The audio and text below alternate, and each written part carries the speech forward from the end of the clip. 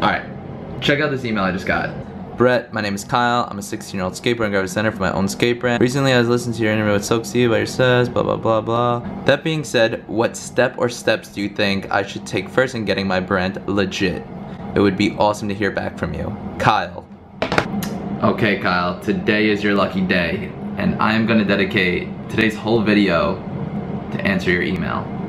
But in order to do this, I need to buy something first. You've got to find what you love. And that is as true for work as it is for your lovers. Your work is going to fill a large part of your life. And the only way to be truly satisfied is to do what you believe is great work. And the only way to do great work is to love what you do. If you haven't found it yet, keep looking and don't settle.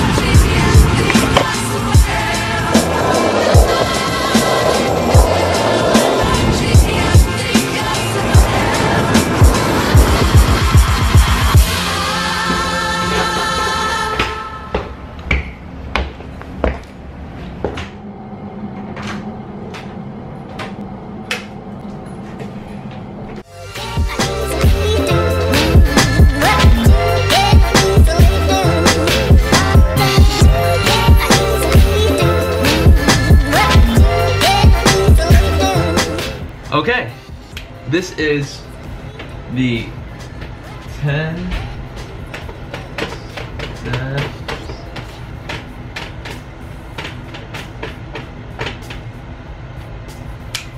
Okay, step one, brand message. What you want your brand to portray is crucial when creating a lifestyle brand. Hence why it is number one. Step two, name and logo. Now using the information you decided in step one, you want to use this to create a name and a logo that properly represent your brand. Step three, accountant and lawyer. Having a good accountant and lawyer is extremely important, even if you're a very small business. You don't want to lose your business because of tax evasion or because someone is trying to sue you. By my second year in business, someone tried suing me, but luckily we came to an agreement and it wasn't too big of an issue. Step four, Get stickers. Stickers are the cheapest and easiest way to start building hype for your brand. Step 5. Website. There are plenty of website templates like Big Cartel, Wixel, Squarespace, Shopify that are all extremely easy and cheap to use. Step 6. Get product. If you're starting off with less than a couple thousand dollars, I'd recommend learning to sew and making your first couple products yourself. Also, t-shirts. Go to your local screen printer and look to get some shirts made. They're relatively cheap to make and everyone always needs new t-shirts. Number seven.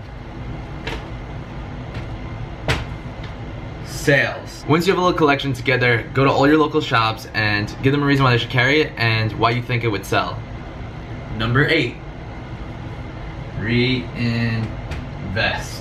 Cash flow is extremely important when owning a business. Make sure you have a business account separate from your personal account and do not touch that money for at least a couple of years. Number nine, distribution. Especially if you're an American brand, distribution overseas is so important. Once things are going well here in America, that's where you take it to the next step and start taking over the world. And number 10, have fun. Be passionate and do not forget to always have fun. love. What do. You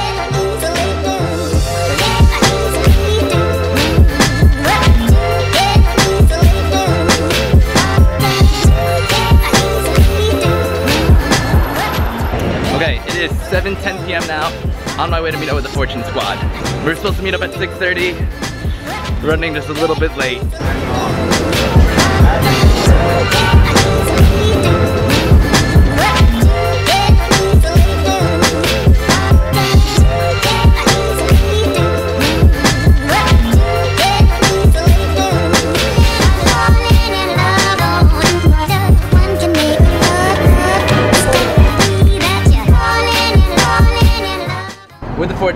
Right now, having some drinks, and Jordan is gonna explain what we're doing here.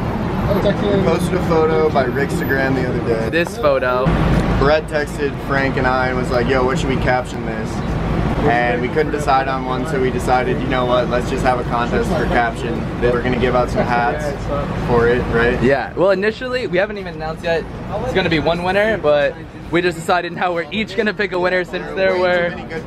There were 259, I think. Yeah, no, there's 260 now. 260. Someone else just counted. And they're still coming in. So there's 260 comments. So we were like, all right, there's too many of them. Like just one winner doesn't really work. There also there are a lot of good ones. There are a lot of bad ones. But there are a lot of good ones. And so we're sitting down and we're gonna go over them. And, and we're gonna announce it. We're gonna announce it real soon. We're gonna announce it what tomorrow? Tonight tonight. We'll announce it tonight. We'll ship them out. Do you have your winner yet? No, not even. Dude, I've only gone through like 50 of them. Do you have your winner yet? I have my winner. Oh, no. Uh, Real hard. This is a lot harder than it looks. Got like some lean in the background or something. Commented, D's nuts. Capital D, just to make sure. I like it. Cause some came in the mail today. These nuts. Got him!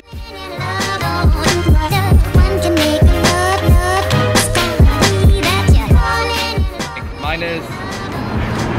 I feel weird saying it because like it's funny when I'm looking at the photo and read it, but I'm gonna pick when you're about to get off work, but your boss asks you to stay another hour. Ooh, that's a good one. What's yours? Okay, mine is by Fiend to Fanky. And it's Hold My Beer. there first. Yeah, hold my beer. You win. He went and got after it. Yes. All right. Mine's Jordan. By, mine's by Shredman. And it's I should have I should have worn a helmet. like, Shout out Shredman. Josh Katz. Yeah. Shout out to Josh. I'm putting that in the video. Yeah, Shout out Josh Katz.